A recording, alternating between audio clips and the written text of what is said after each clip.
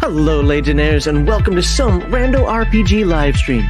Tonight, our panel of dungeon masters, game masters, referees, storytellers, and players will share their diverse tabletop role playing game experiences to provide ideas, suggestions, and possibly even some advice for your tabletop RPG sessions. I hope you're ready to take some notes. I know I am. So let's get started. All right, welcome to the Some Rando RPG live stream. I am John Maxley Oshlow, your host. I'm truly grateful that you're with us for tonight's live stream on why how are they going to convince me to love no why why should you I or anyone play the Rifts RPG by Palladium Books? I was told I keep this on the stream too long, so I'm going to stare at you while I read my script. That's right, reading. So what do we do here on some Rando RPG live stream? Well, in segments 1 through 4, we discuss ta- uh, topics surrounding the tabletop or role playing game hobby with an emphasis on individual experiences, desires, and expectations. In tonight's four segments on why you, I, or anyone should play the Rifts RPG by Palladium Books, we hope to provide ideas, suggestions, and food for thought for your tabletop RPG sessions. And if you stick around for it in segment five, we let down our hair and just talk about nerd issues of interest, maybe rant, maybe laugh. I don't know. We'll do things.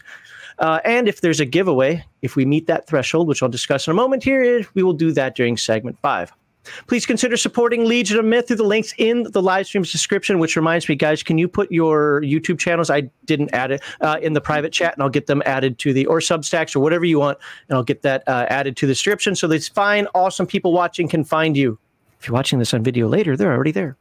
Uh, YouTube takes 30% and Twitch takes 50% of your hard earned money, while Rumble, PayPal, Streamlabs, and Ko-Fi take between 0 and 5% of your donation.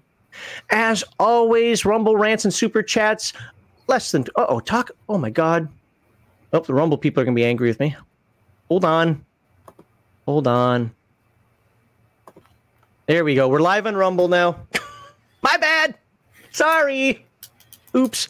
Uh, anyway, Rumble rants and super chats of less than $20. I will read at the end of each segment. $20 or more, I will interrupt the segment to read your rant or chat as immediately as I can. I'm gonna let somebody finish his, t- you know, his thought first. You know, at fifty dollars or more, I should have brought the shot glass in here because this actually happened the last couple times. I will drink in your name, and you can force a panel to answer any tabletop RPG related question of your choice right then and there. Not like a seven parter either. Just you know, one question. Uh, if we make $100 or more in super chats or rumble rants, there will be a 25 nay $75 Palladium Books or Drive Through RPG gift card giveaway during segment five towards the end of live stream. Legion Myth YouTube members, as well as tonight's super chatters and rumble ranters, have the opportunity to win, but you must be watching at the time of the giveaway to claim your victory. And it is that you will be claiming because you will be standing atop of all the corpses of the people you defeated in Ultimate Arena. Else it rolls over to the next week. Don't forget that Legion of Myth moderators will time out or even ban people who attack any panelists or chatter. Attack the argument, not the person, and keep the various social media beefs off my show. And to answer a couple of YouTube commentaries that have been out there, no, I'm not against ranting. No, I don't take back anything I said in the past. And no, I'm not embarrassed of any of it. Times have changed. Things are different now. But if you really need me to rant, come back in segment five. I'm sure I can find one for you. We just don't want to have that on this. We want this to be relatively family friendly here. I've actually had people ask me to you know lessen up on the cussing when it comes to the panelists, and we're going to do that for you. So that's all it is. So please like this video and subscribe to all of the panelists' channels that you will soon find in the description. And thank you, thank you, thank you for your time and support. Okay, with all of that out of the way, who do we have with us tonight? Well, starting on the top row here, we have uh, Francois or Frank. I'm sorry, that's right. We go with Frank now. He's good old American. He's Frank from down south. uh, yep. And I think today you need to kind of shill your book for at least for a second so people can know how deeply vested you are with the Palladium system. But who are you? What content or products do you create? And what is your tabletop RPG experience? Okay, so uh, I've been playing the tabletop RPGs since uh, back in the late '80s, early '90s. So back when D and D still had THAC0 um, and the Splat books. Uh, played the Palladium system with uh, Robotech. Uh, played through all the generations with my uh, friends back in junior high, and then moved on to Star Wars, and then obviously moved into Rifts. Uh, Rifts obviously has been the mainstay of my interest. And in terms of the Palladium system, it always seems to come back to to Rifts as well. Uh, and as Max said, um, I was the, um, the the author of the World Book for Free Quebec. Uh, at the time, that was in the heyday of Palladium, um, when they were they, everybody knew about Rifts. Uh, we're also pumping out like a lot of books, a lot of books. And I thought, okay, well, if someone's going to write something about, uh, you know, the Quebec experience, um, I'm, I'm going to damn well make sure at least I give my attempt to be that guy. And thankfully, uh, Kevin gave me the contract to provide the manuscript, and largely, pretty much everything I handed over to him was uh, put into print. And I was absolutely gobsmacked with the artwork, uh, both on the cover from Zeleznik and the interior artwork from everybody that contributed. Um, and, and I won't bother going through all the names, but uh, some fantastic artwork. I was happy with everything that came out of that. Uh, since then, I've been, uh, you know, in and out with uh, Palladium, and uh, just recently started getting into third-party content creation with my blog, uh, which is Scholarly Adventures, uh, which is not a video source. It's it's a print media, visual media, but I do advice to new GMs and players um, some advice columns on how to use the Palladium system specifically for rifts, creating engaging adventures, uh, maximizing the use of different monsters and whatnot, uh, the use of character classes, even the non-combat ones, um, mm-hmm. and then a bunch of book reviews. So pretty much every single book for the Rifts line, uh, I've done the review for, uh, as well as most of the Dimension books. Uh, there's about 160 some odd articles on there for you to read. Uh, so by all means, uh, scholarlyadventures.com, uh, and off we go. Now, I have not read all of them, but I have read a bunch of them. I have more to go. And I would say that, yes, you should. If you're a Rifts fan, you should be reading it. Watch our videos. Read his uh, his blog. You'll notice that sometimes we have similar takes, sometimes we have diametrically opposite takes. But that's what's awesome about the hobby. What about about the fans and so forth? But the idea for you is food for thought do you like what we said? Do you like what he said? Do you like somewhere in the middle? And I, I really do suggest that you check out Scholarly Adventures. Now, below him, we have Timothy Farrelly. Hello, Timothy Farrelly. Welcome back to the show. Who are you? What content or products do you create? And what is your tabletop RPG experience? Hello, I'm Timothy Ferrelli. I have Character and Dice where we make characters so you don't have to. I've been gaming since the mid 90s. I started with uh, second edition AD&D went uh, in the Air Force, went to Palladium, uh, played D6 Star Wars, played Marvel, played a wide range of games, and I've always come back to to Palladium, to Rifts, to Fantasy, running a Dinosaur Swamp game uh, for my normal game Saturday nights, uh, starting that. So uh, those are that's my those are my RPG chops all over the place, but Palladium's my is my part of my soul as as we're going to find out as we go along here tonight, you're going to learn pretty quickly that I'm not a Rifts guy. I love Palladium books. I have Rifts is not made for me, but Dinosaur Swamp. I actually did the the overview of that one, and that book is fantastic. And you can take it anywhere, like after the bomb, where good people play. Still Palladium, after the bomb. all right, Malachi, uh, who are you? By the way, all the links are now in the description, so you guys should be able to check them out. Uh, who are you? What content or products do you create, and what is your tabletop RPG experience? Hey, I'm Malachi. I started in the uh, early '90s when I found, well, when a friend of mine in high in actually it's junior high was reading some Dragonlance, checked it out, and just got into D and D that way. Moved on to got into Rifts in college and just been jumping around ever since. Okay. I got a I got a blog. You said it's a description. Uh, I don't haven't really been doing a theme or anything. It's just been whatever's been getting in my head, what I think needs to come out. Cool. We'll check that out. Again, you can find a Substack in the description. All right, we let's get this on the road now. Get this on the. I don't know what I'm saying. It's going to be one of those nights. I'm just going to jabber and. All right, first question. We will start with Frank up there. What sets Rifts apart from other RPGs in terms of its setting and world building, and how do you utilize these features in your games? I Rifts and and this is uh, you know kudos to Kevin for this one and and the other writers that provided for the the world books throughout. Uh, the world building is is top notch. It's one of the better ones that I've seen out there. There are other games that do world building really well.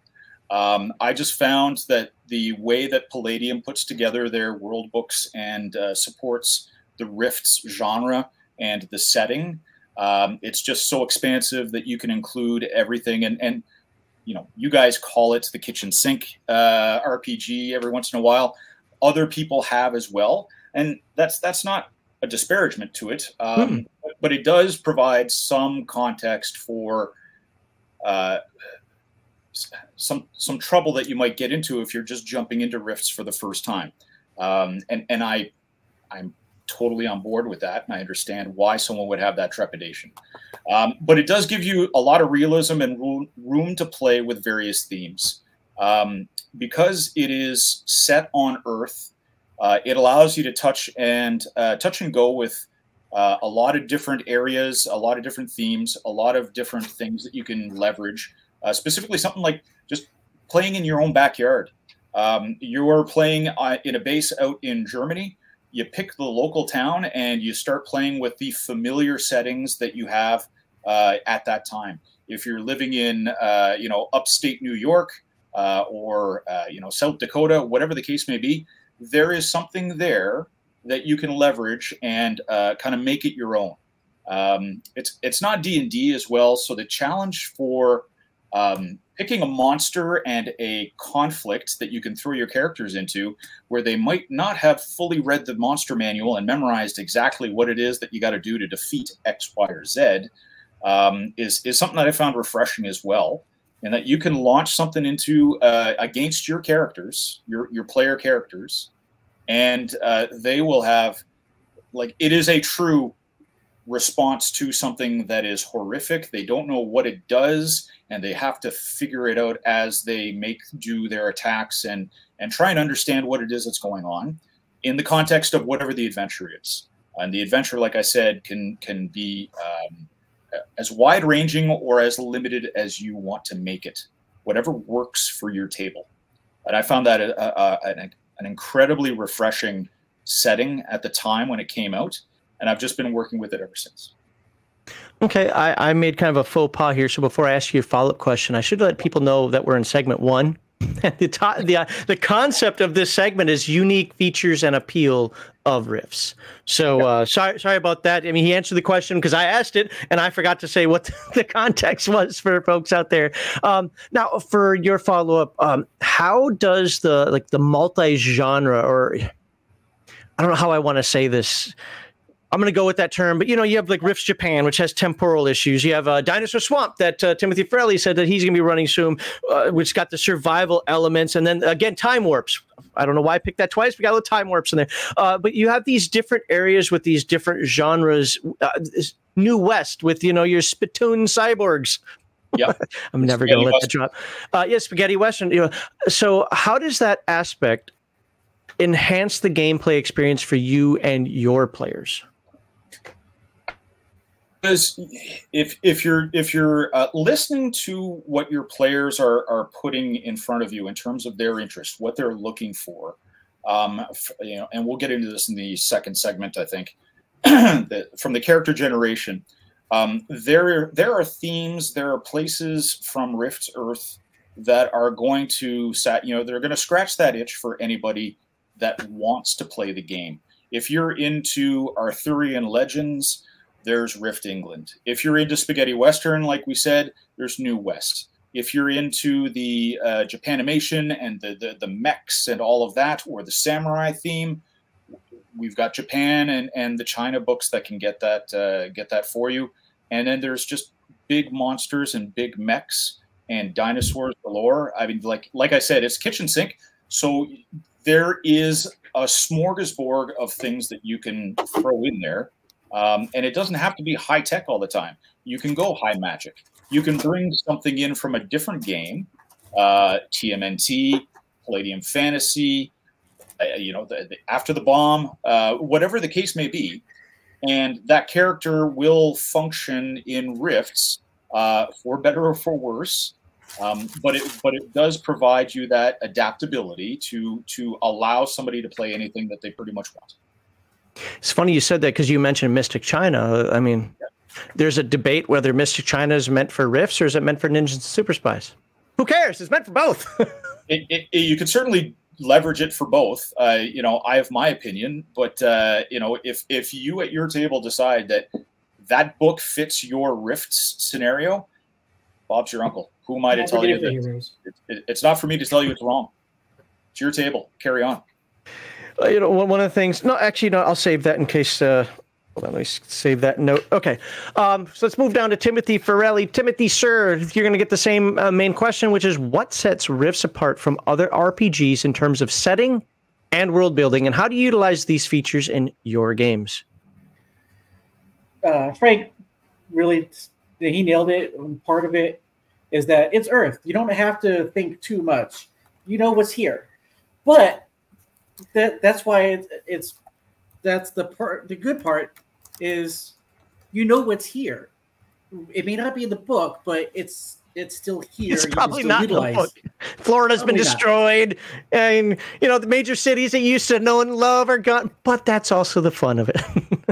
hey, Ocala will still be here. We'll still be making fire trucks. I don't care what anybody says, but that's my riff sir. Um, mm-hmm. And and you can utilize this in your campaigns. Uh, also, if you if they allow it in here that if whatever you're going into is not going to fit, change you definitely change it because they have in the lore that the landscape has changed. Uh, and I mean, Max, you're well, your home state's now infested with bugs. Why, why so, do you keep reminding me of that? well, because I'm in the swamp, we got bugs, you got bugs. I think there's a commonality here. Okay. I mean, the uh, Minnesota uh, state bird is the mosquito, but you know now now it's excessive. so uh, that's the that's why that's the that's the, the beauty of the setting. It works. You don't ha- you don't have to relearn. You don't have to learn anything new it's Earth. You know what's where's Earth. You know where uh, San Diego is on the up in the water. You know where Atlanta is. You know where New York City is. Eh, but the players and they're not going to know what ha- what happened. They're not going to know the state of New York City. They're not going to know the state of San Diego. So it's there, and you can use it or change it. You said that, and I don't know why, but all of a sudden I was thinking, well, yeah, it's New York and it's uh, Roadhogs. I mean, we know what happened. What are you talking about? Oh wait, we're talking Rifts. Um, since we're talking about uh, the world building, the setting, and so forth, I want to ask kind of an off the wall question for you, which is uh, what role do you think the art and illustrations in Rifts play in attracting and immersing players in the game? It does play a big part. Um, I love I love John's uh, the artist John uh, Zendik, I believe his name. I love his work. Um, there's but there is some aspects that are just a little bit too um and this isn't this isn't just John. Uh, this is a theme. It's just too it is still too I, I don't want to say 80s, but there's just just a bit off for me. But it still makes it still presents with you what um what what it is. High tech. You know, you got the high tech and you've got the freak you got the um um mysticals and you've got animals. I mean the drawings, the art of the dinosaurs are just gorgeous. Uh the it helps it helps solidify what what's there. I mean, let's be honest. You look at that the original Rifts cover, you know, with the Splugorth slavers on there and the slave girls. Tell me how many people didn't buy the book just for the cover of the book.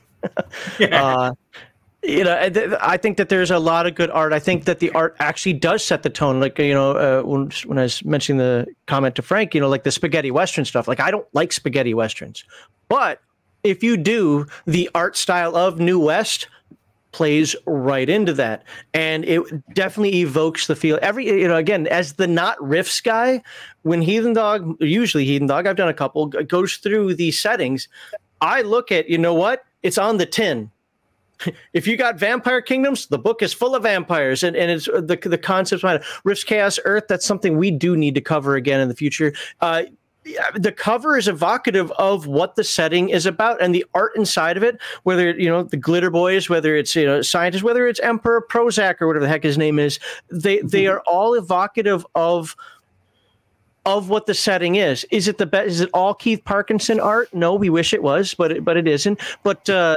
whether it's simple line art or it's uh, the the awesome covers it, it, instantly should give you a feel of what you're looking at. I haven't found a cover. I mean, there's some covers that were like eh, about, but none of them been like this isn't what the book is about at all.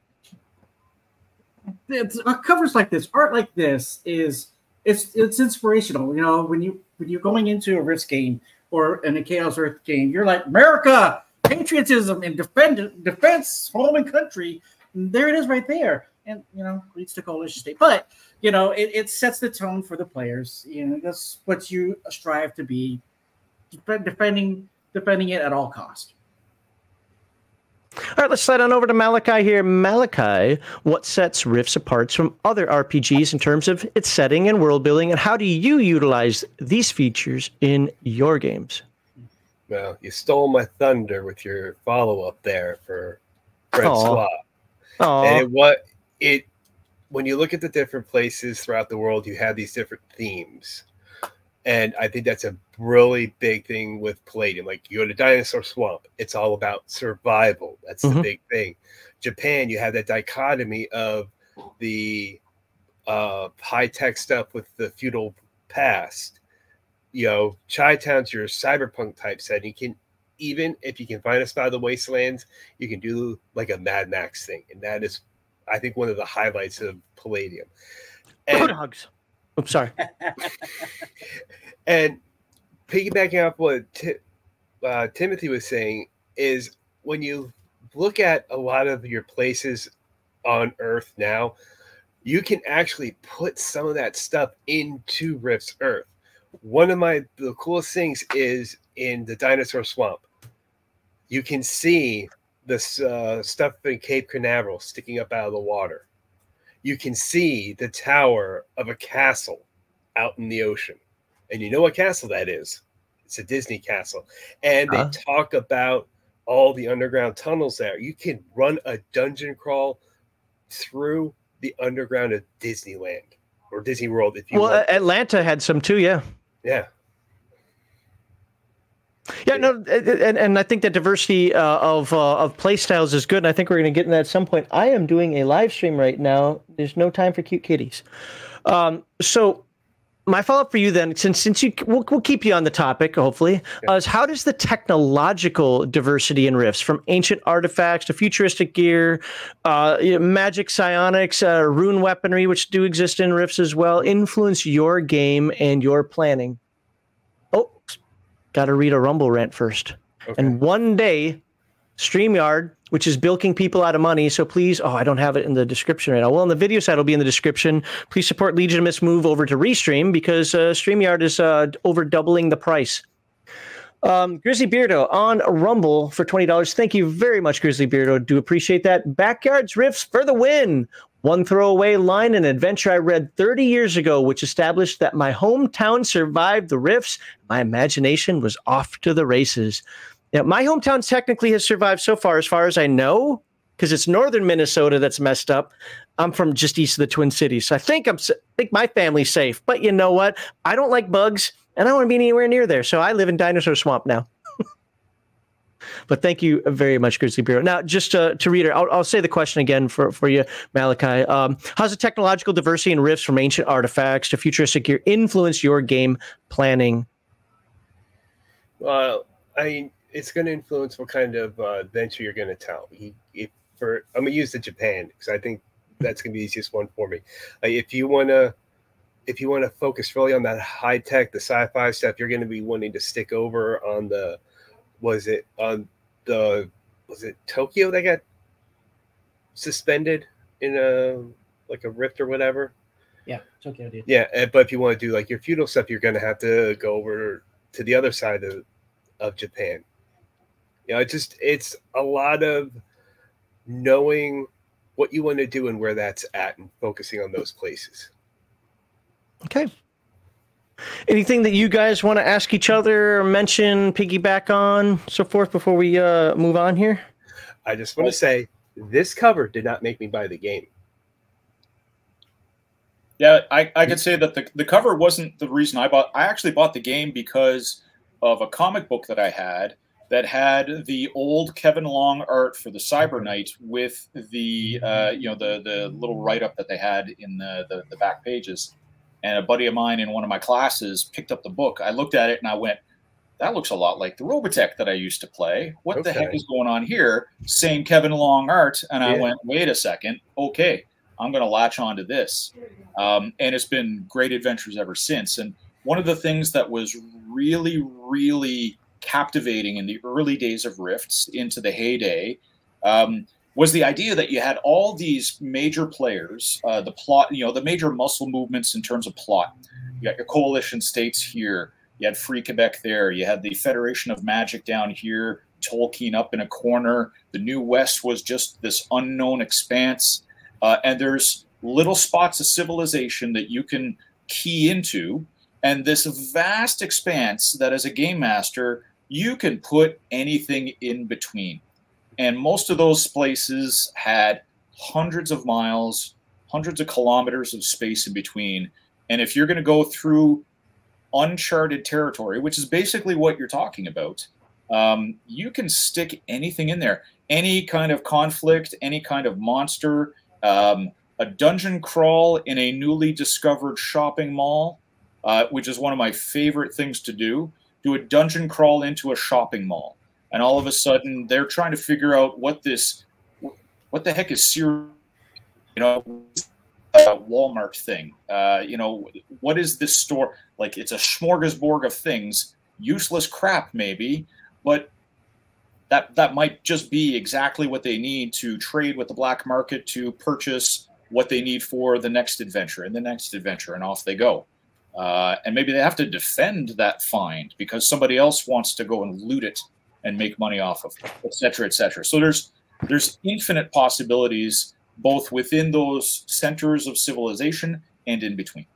and that's the balls are the perfect dungeons to use in Rifts because you, know they're there, you know what their layouts are, so it's it's already all the heavy lifting is done for you. And I've sent some fantasy or or uh, characters that I drifted in for a brief time down a mall to get stuff. Yep. Have it hook up to a subway system, and off you go. There, there there's your dungeon crawl. Uh, and quite frankly, I think it's a, a more immersive experience than any that you could find in like you know maybe the D20 systems where it's like oh you're going down into a mountain and you're just going to pre uh, you know uh, pre pre chart what they're going to look at. Um, how many how many underground mon- mountain dungeon crawls can you do? Um, you can do a lot uh, if you're into that kind of thing. Uh, but I found that uh, you know by by using things like shopping malls, skyscrapers that were off onto their side, half buried, um, things like that, that that allows you a three dimensional aspect to your game. Uh, makes makes for some really immersive gameplay and really gets the players jazzed up and engaged. And, you're not restricted in creatures either. If you have a special opponent, you have the wide open. Like, um, you want something that breathes fire, you want a dog that breathes fire, go ahead and do it. You know, it can be there. It, you're, you're you're more than just your goblins, your gnolls, your trolls. It, what, however you want to design it, you have those opponents that your characters, your players will not know anything about it because there's that doesn't exist until you make it. One of my favorite maps to use, and I can't grab it right now, but I have a map of the Paris Underground. I love using that for uh, for fantasy settings. I'll use aspects of it for sci-fi. Channel. I made a space station based on it one time. Like, uh, but uh, it's there's a great there are great maps out there, the Paris Underground that you guys can use as well. And when I say you guys, obviously these guys here have their own imagination. I'm just talking in general for everybody that people can use out there. Uh, I suggest. There's another one. I just can't remember what is some cave system that's supposed to be really good to use. I mean, yeah, I mean, go Carlsbad Caverns just as an example. Oh, uh, Carlsbad, Yep. yes.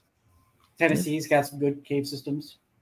Actually, Google is your friend for this. You can go onto Google and just do uh, underground copper mine, and you will find the schematics for an underground copper mine, and you can leverage that for your gameplay.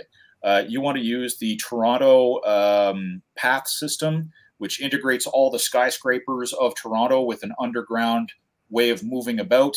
You've got that Montreal has an underground city. Most major cities have an underground city that you can leverage.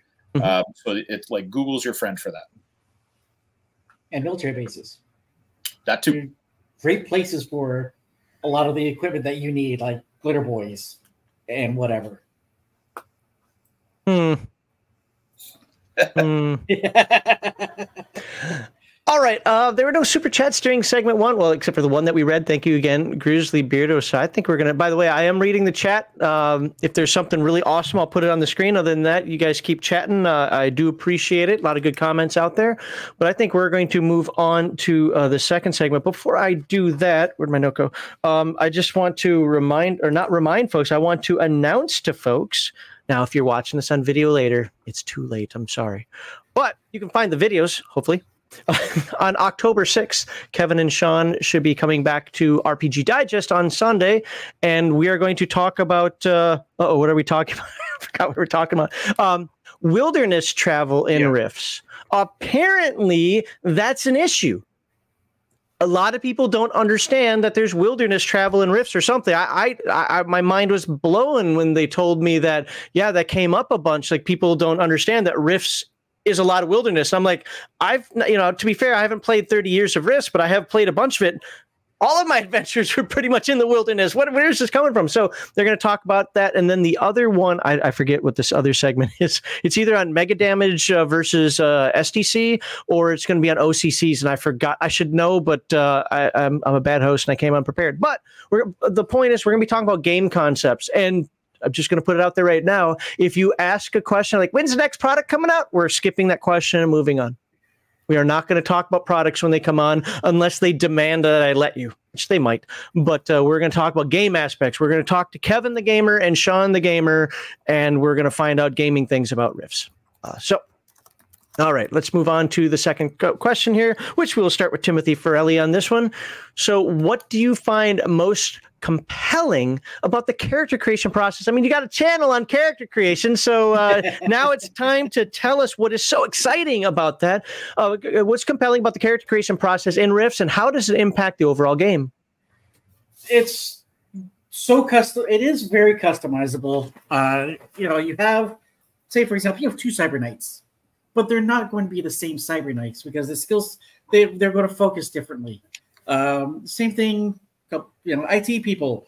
We're, we're all IT, but we're not the same IT. I am a system admin in real life. I just pretend, actually, I pretend one. But um, you, it's the how you build it, uh, how you, what you select, what your their goals are, what their hobbies are, is what I enjoy quite a bit. There's uh, stats to a small extent, you know, be the off chance of being able to get a high 20 stat that's that's freaking phenomenal. Uh, that's going to give you a lot of bonuses.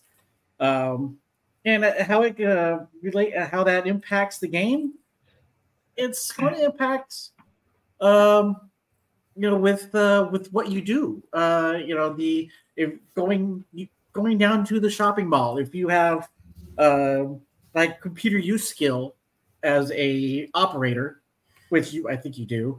Um, then you're going to you might be able to log in into Sears and you know get some worthless information, but you know you're you're exploring what's going on, what happened in Sears the day before, and develop that lore as you as you progress. Um, and how you use your it's also how you use your skills uh, that you might be able to see that uh, as an operator using computer use that the alarm system is rigged to set off an explosive so you disarm that and makes life a little bit easier on you. Whereas a Cyber Knight without computer use wouldn't necessarily see that, and they might trigger it.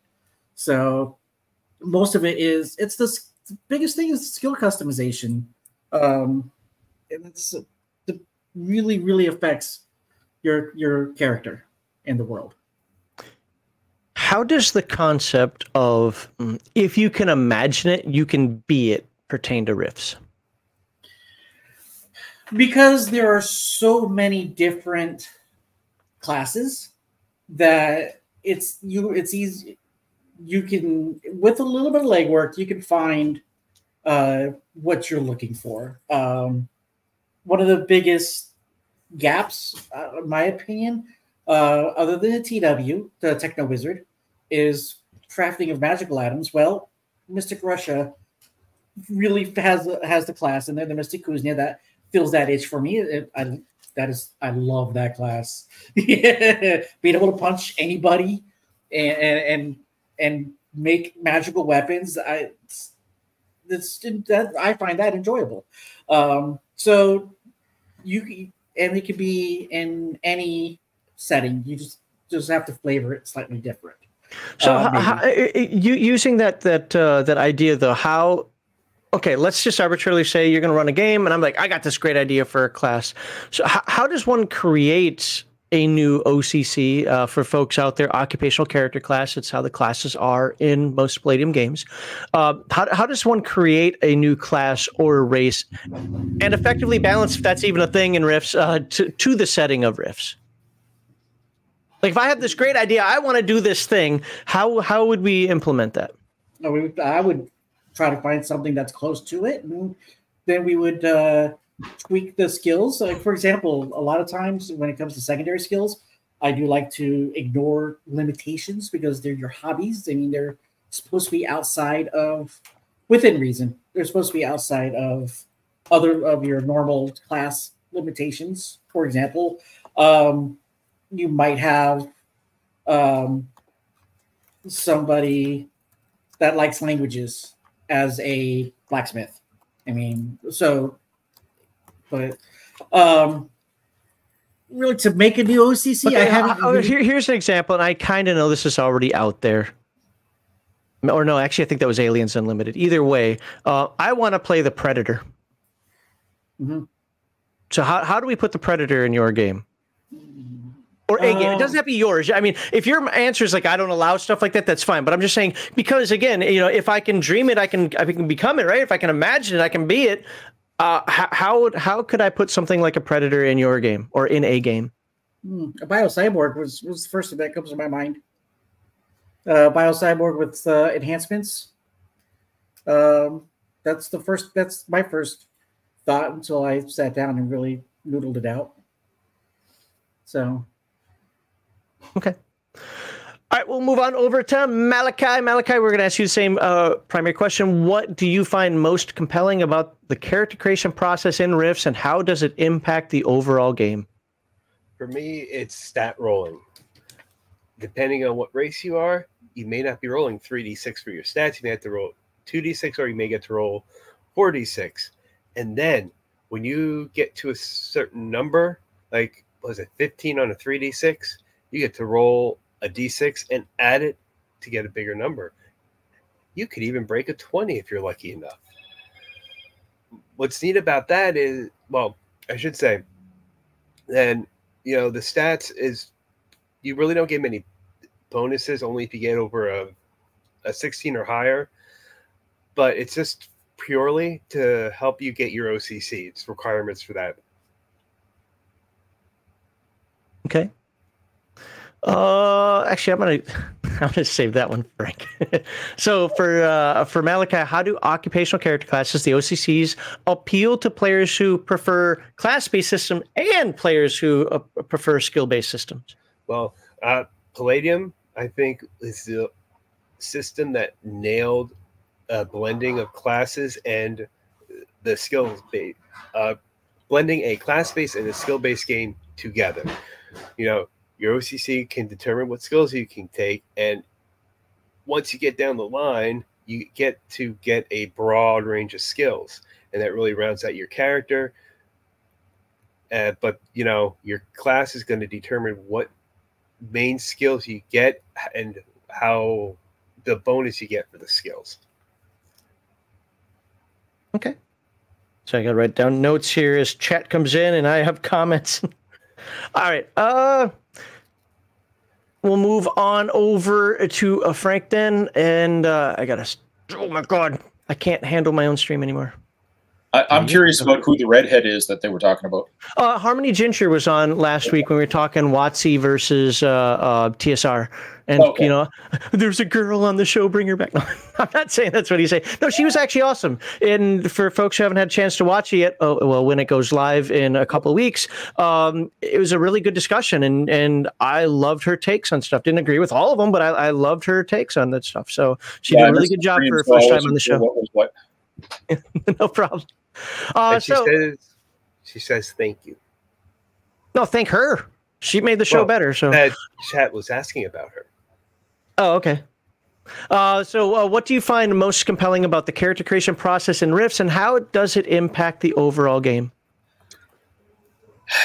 This one I had to think uh, a little bit about, and and my first my, my gut reaction was it's not D and D, and and that was my first thought. It's not D and D. You you don't have strength, dex, con, wisdom, and charisma. You're you're off from that. So the character creation process, um, from that perspective, uh, already sets things on edge.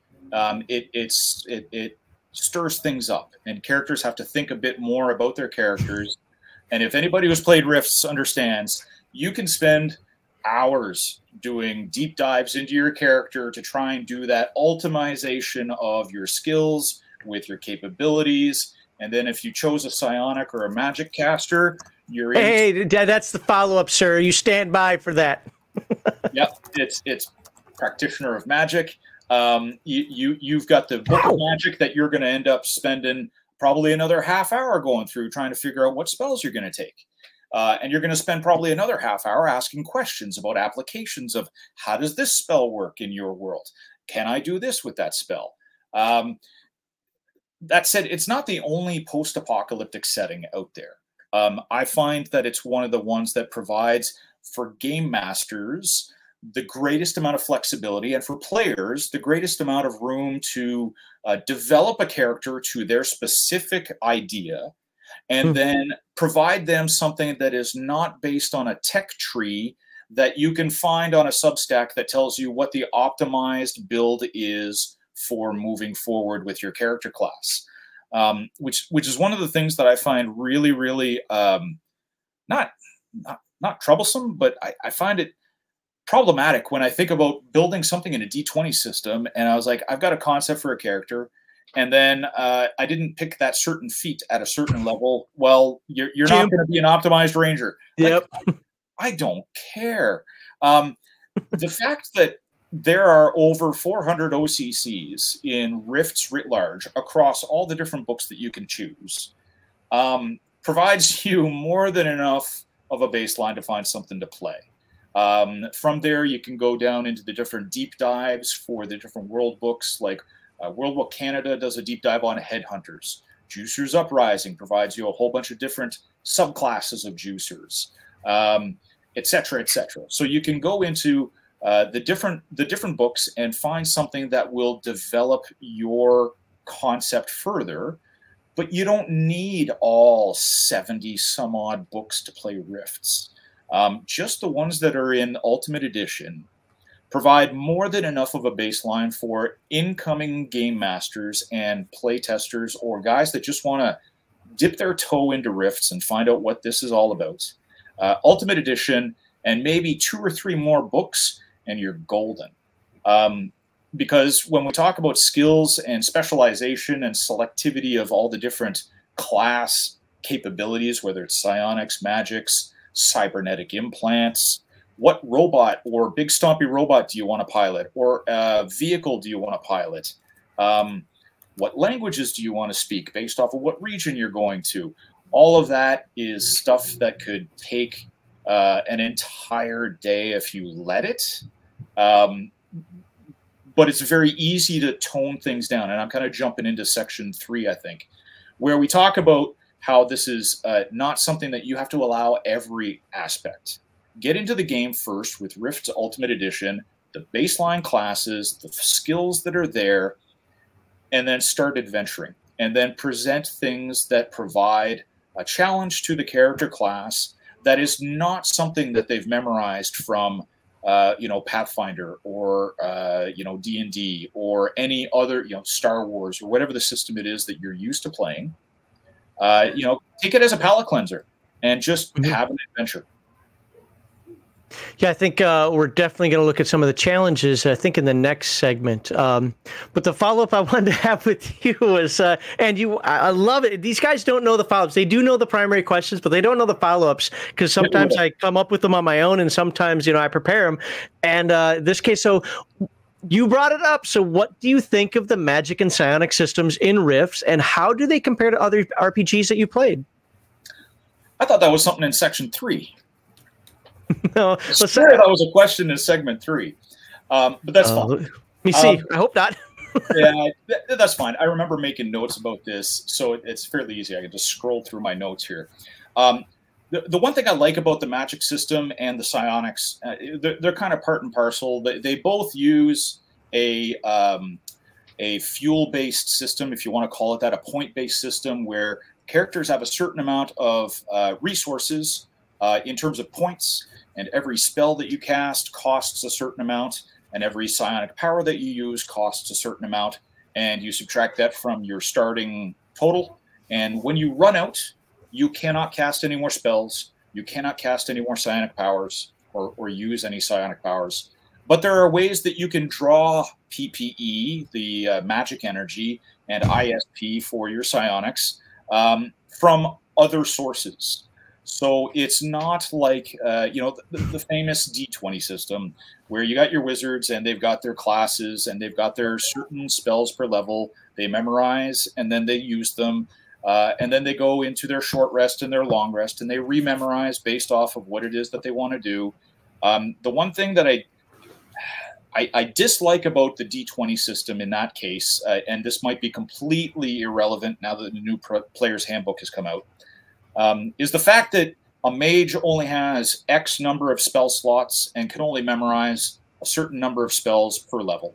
Uh, whereas in Rifts, if you have six first level spells, you can cast them as many times as you have that uh, psychic energy fuel source to move forward.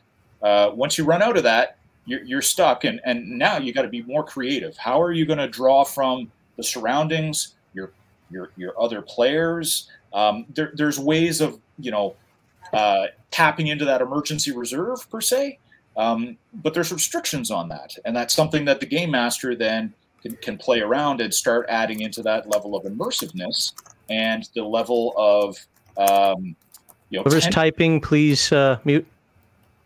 The, the, the tension that you're dealing with, uh, you can really start playing around with your characters and making the adventure that much more uh, immersive and and and uh, you know enjoyable by giving them that challenge to overcome. So uh, I did check segment three out real quickly on the question. So these are different questions. This follow up was like comparing it to the rest of you know other games out there, which you answered, and the one in segment three is comparing them to each other. So uh, yeah, that's okay, the new so that's the nuance of that. What's you that? Yes, yeah, exactly. So, uh, all right. Uh, I wrote down a couple of notes. If you want to gain more, now, first of all, if Rifts needs to change something, if Palladium needs to change something, and I get it, it's it's hilarious, but to new people, it's confusing. I don't have a problem with it. I know I'm putting a lot of disclaimers out here, and I hate disclaimers, but it, but I, I don't care. But it does cause problems for new people. Is that potential psychic energy is magic power while inner strength points is psychic power. you know, yeah. So that's confusing. You know that that little terminology, but again, longtime Rifts players are, or Palladium players aren't, aren't going to care about that. But it does it is a little confusing to new people. And if you want to increase your your PPE, Kevin's going to hate me and never come on the show again. But kill babies. Just saying, that's how you do it. Animals.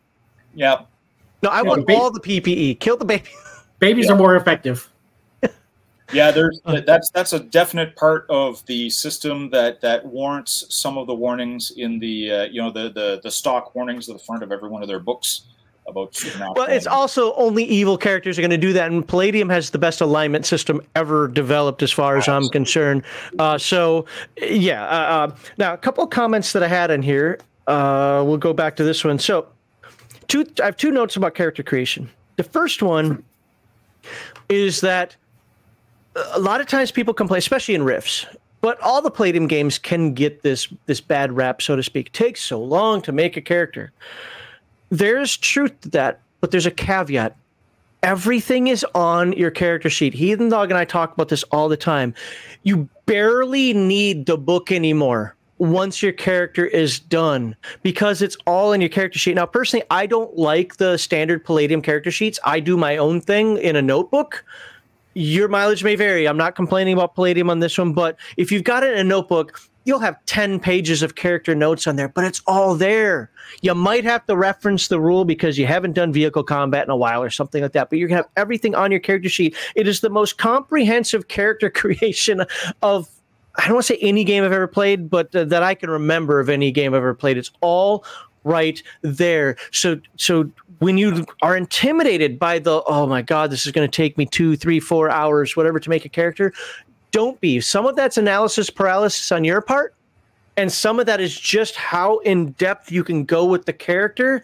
And but once it's done, once it's there, you've got you've got that character and you are literally ready to go with everything that your character can do. Any comments on that? You mentioned, and, and sorry for interrupting uh, the others, but in one of the future segments, we're going to talk about some of those tips and tricks mm-hmm. um, for for new GMs and new players. Um, but that's one of those things is just come with a prepared character or just kind of guide them into what the skill selections are for what they really need and then they just tell them like pick pick some at random and if that includes like cooking, singing, and fishing, which they might not ever use within the terms of the actual adventure they're going to play, the module that you're going to throw at them right away, that's fine. Um, and, and you know, what, if they want, they can change characters for the next one. They understand the process now. So it, the first time when you create a character in Rifts, it is it is daunting.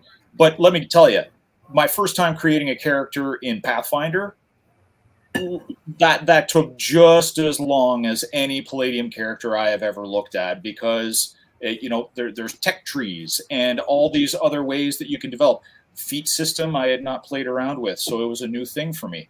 Um, the same thing with D and D. The same thing with Star Wars, Vampire, whatever game it is that you're going into, you're starting to new uh, a new character. You, you've got a learning curve to overcome. Uh, Rifts uh, has some particular hazards that uh, don't necessarily help new players come into it, um, but there are ways to get around that. And, and so, so I'm, I'm going to interrupt for a second because because I, I, there's a perfect point for me to say that the difference is in Pathfinder. You mentioned it. You didn't take the right feat. You didn't optimize while there are ways to do it in some sense, I don't think there's a way to optimize a Rift's character. There's a way, yes, sure, some skills, like you said, are used potentially more than others, but what type of campaign are you playing? Those those cooking and fishing skills you said aren't important now might be really important three adventures down. So you, so you never know. Um, yeah. I think that Rifts encourages you to make your character vices the character. And I hate the term build. I'm with the old geek on this one. I hate the term build, but it makes so much sense when you're talking WotC uh, third edition or you're talking Pathfinder. You really are building a character where in Rifts, you're, you're, you're, you're just making, you're, you're creating, you're crafting whatever a character based on your imagination. And pardon me for interrupting, but, but I thought that was a good point to kind of add in there. No, I think that you got it right on the head, and and and I'm sure uh, Tim and Malachi would have some points on this. Rifts uh, and and Palladium system in general allows you to craft a character to um, your vision of what you want to do, and there is more than enough flexibility in terms of skills, uh, psionics, bi- bionics, whatever it is that you're going to do, um, to to at the very least reach, let's say, the 80% goal of mm-hmm. what you're trying to get to might not be the 100% solution, but it's the 80% solution. And then with the game master in the adventures, you can definitely enjoy playing the character that you have created. And it gives you something to work for. Absolutely.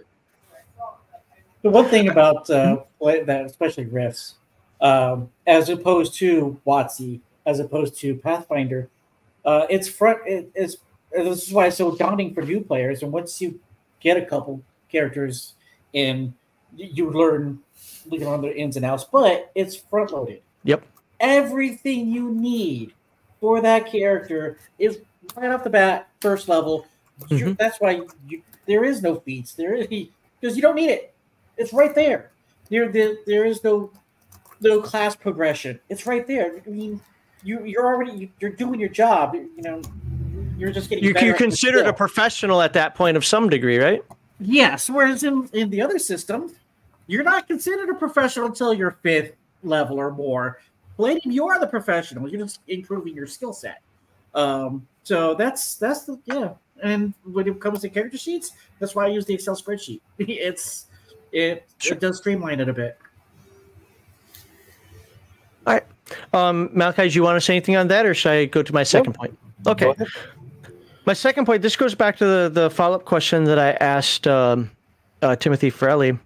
So I've got some suggestions. So, so in terms of like, I want to play. I, I know a bunch of people put in chat. Well, this is how you do the Predator. It's in this book, and you can grab it. Okay, that's a great start. I guess I'm talking about the idea. I imagine something that may or may not exist. Let's just arbitrarily say it doesn't exist. I think the first thing that you can do, well, first of all, a game master can always say no. And, and and even Kevin and Sean say, look, if it doesn't fit your game, don't allow it in your game. Just because it is the kitchen sink doesn't mean you have to throw the, the cat's hairball in there with it. But with that said, you have to be cats. Can you tell? Um, but with that said, first, and I think Timothy kind of actually he didn't kind of say he actually said find an OCC that matches. If you find an OCC that matches, was it Frank said there's like 400 OCCs? Wow. Okay, you know you can find something to match, but let's say you don't have the book, or let's say no, this I, it's just not quite right. I'm looking for something else. Um, find something just similar, and then tweak it. You're allowed to do that. Make it your own OCC. Now, I wouldn't go in there and call it a glitter boy or uh, a elemental fusionist or, or a ley line walker because those already exist. But you can take those concepts and say, what if I did this a little differently? Maybe a little less PPE, but an, uh, but a little more on the ley lines. I don't know. Uh, I, I don't know how you tweak all this stuff, but the, but the point is, is you have the ability to do that. You know, people complain that Rifts isn't balanced.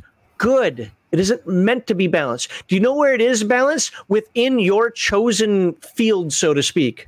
If you're a wilderness scout, you're a dang good wilderness scout. If you're a rogue scholar, you're a dang good rogue rogue scholar. If you're a Borg, you can take a lot of hits. you know, I mean, the the idea is that you are good at your niche, and then you get uh, again using the book that uh, uh, that Timothy Frelly, and it's because I covered it. You got like nine, ten more wilderness scout ideas in there, so it's not like the game itself is limited to one version of the crazy. If you want the crazy but something else, as long as you're staying within the tone and your game master approves it or your game master designs it, you can do it. Just base it on what you see there. There's no number system like, oh, I got to fit these points in or I got to do this or it's worth this much XP.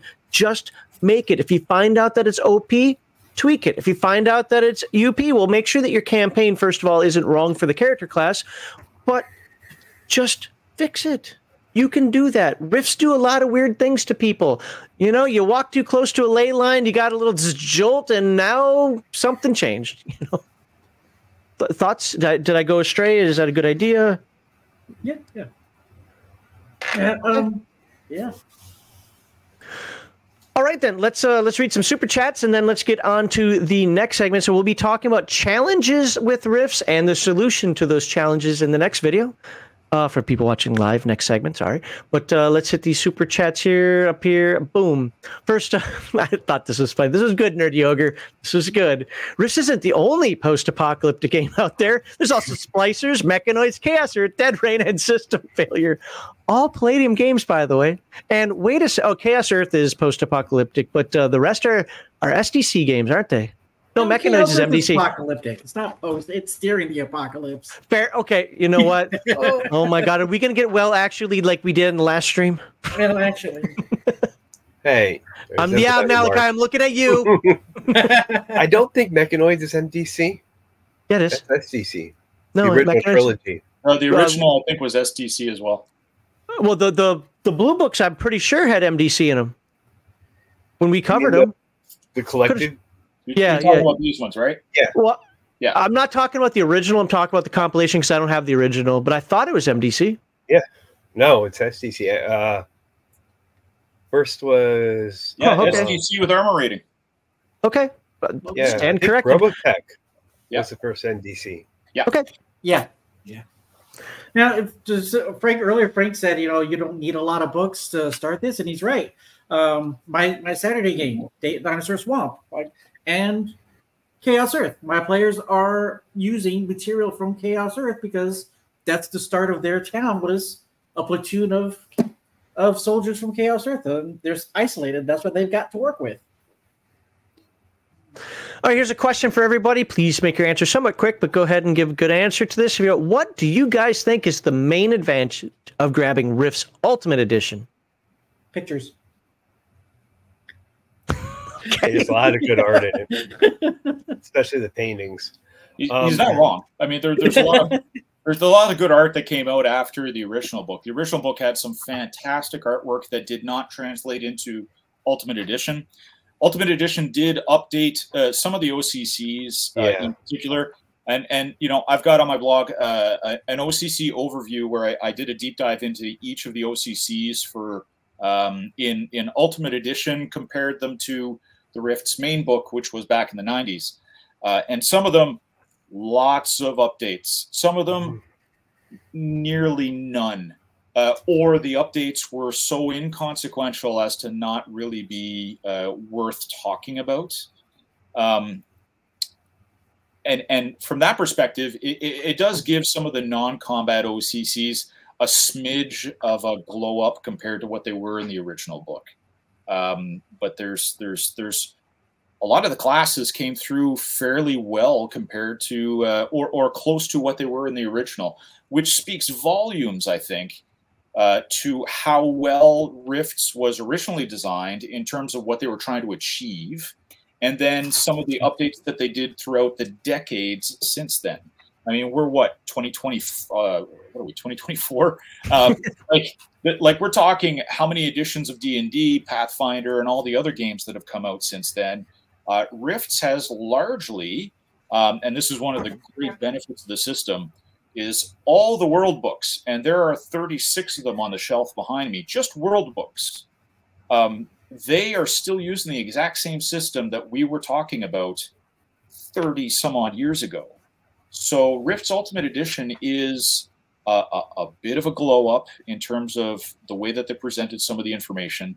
Um, I've got some. I've got an opinion about where how they formatted the book uh, compared to the I first think one. everybody does.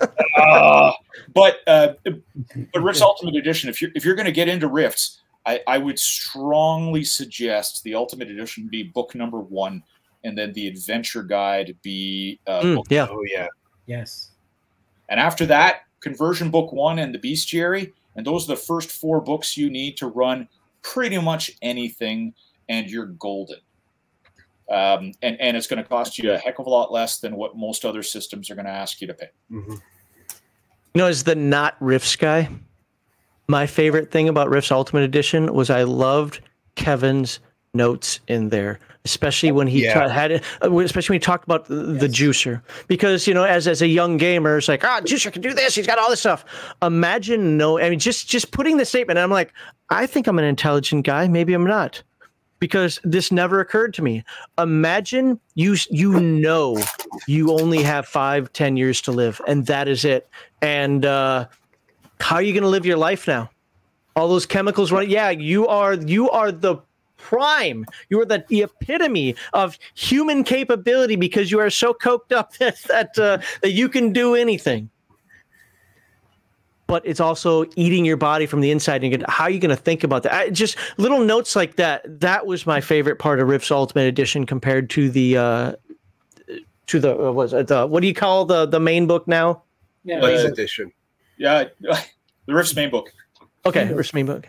I call it the Butts edition. Yeah, there's yeah, that's that's yeah. The Glitter Boys really kind of popularized that. Um, uh, the Glitter Boys podcast.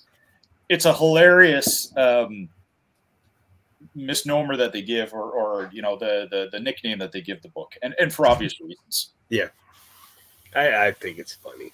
That's Yeah. I'm gonna stick with it. When I when I heard it the first time, I was like, "What the heck are they?" Oh yeah, okay, yeah, I got it. All right, let's uh, move on to our super chats now. Uh, Law Dog says Rift's magic and psionic system with ley lines and PPE and ISP are my favorite out of all the different systems out there. Mm-hmm. Not gonna lie, my favorite is actually Mage the Ascension, but I don't think that would work in Rifts. Uh, Law Dog also says, uh, this, by the way, thank you, Law Dog, for all the super chats. The sheer yeah. amount of, and variety of OCC RCCs makes a standard character sheet almost impossible to create. That is a very fair statement, which is a strength and not a weakness. Agree with you completely, in my opinion. Look, I know people like standardized character sheets, and to some degree i do too because it makes it really easy to glance at it quickly look at it make sure that you know the player isn't cheating or hey mark something off or find your help whatever but I still have notebooks of characters like my Borg character that I played in the 90s. I still have that character in a notebook uh, ready to go at any time. Just something about ha- that, that notebook. I can do what I want with it. I, I don't know. I, I don't have an issue with either. And and everything is there. I don't need the Rifts Ultimate Edition book. Everything's in that Look at, you know, what happens if I'm squatting with a bright sun in my eye while, you know, uh, while holding something over here and shooting with this arm? I'm sure I've got that written down on the character sheet somewhere. I can see a database having to be made to catalog all of the OCCs and RCCs. It's uh, it's not fun. Um,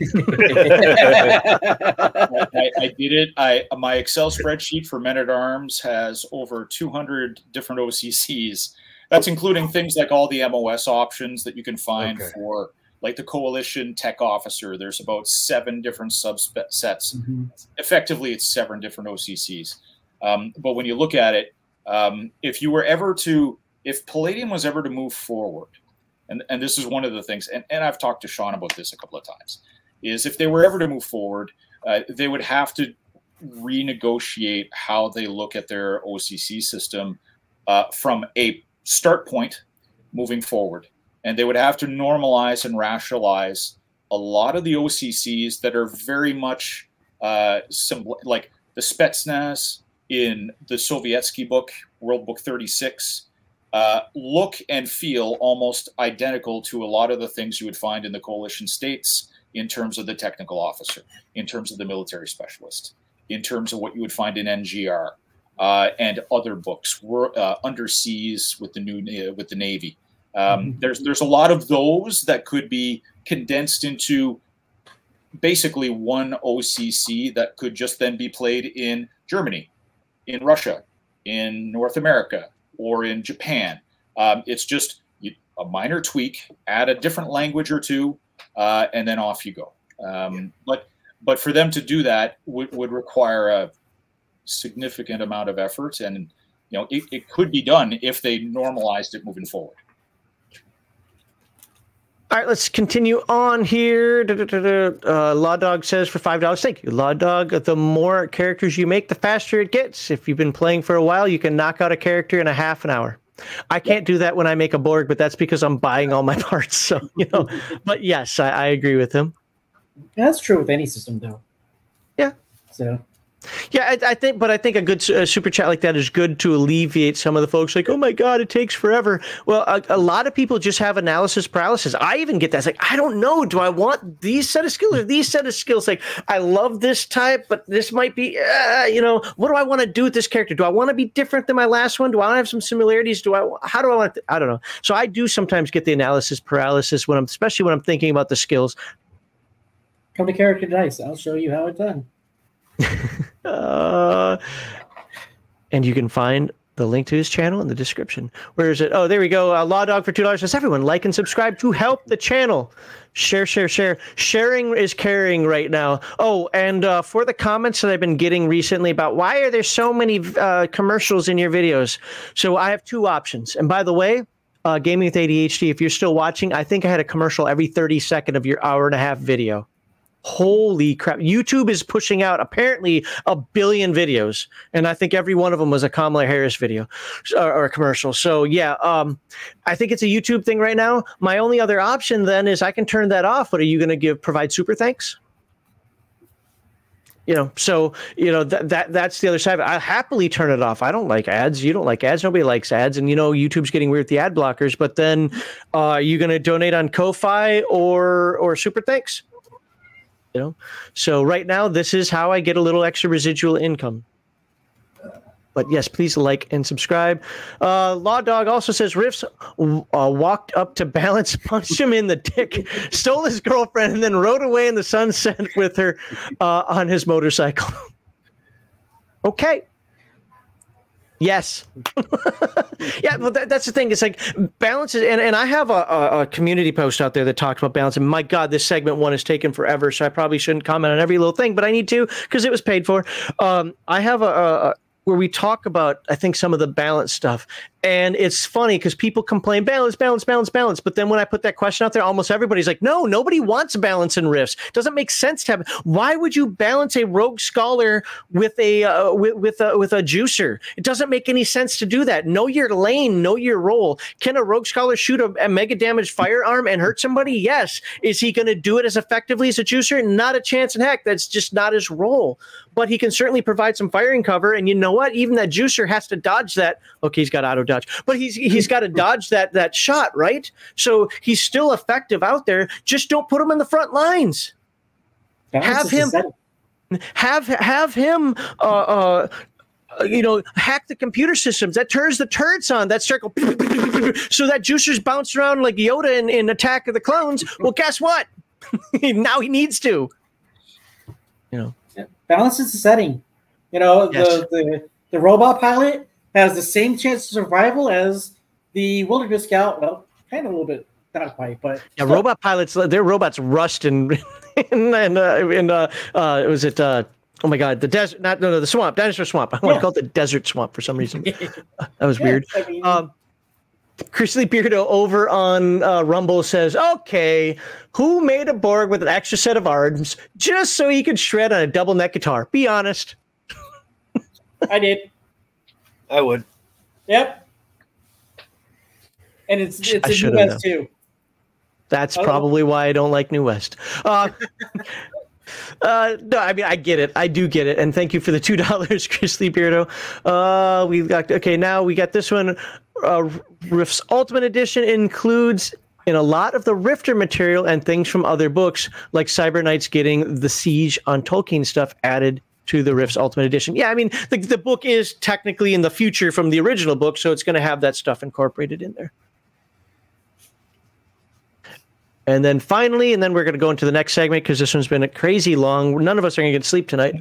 Um, the amount of variety in Rifts is intimidating to a lot of people new to the game. And you know, that's a great segue as we go into our second segment, which is going to be on challenges and solutions. Heathen Dog says I say says it the best. He says Rifts is the best second game you should play. You should have something else under. your. I hear click click click again.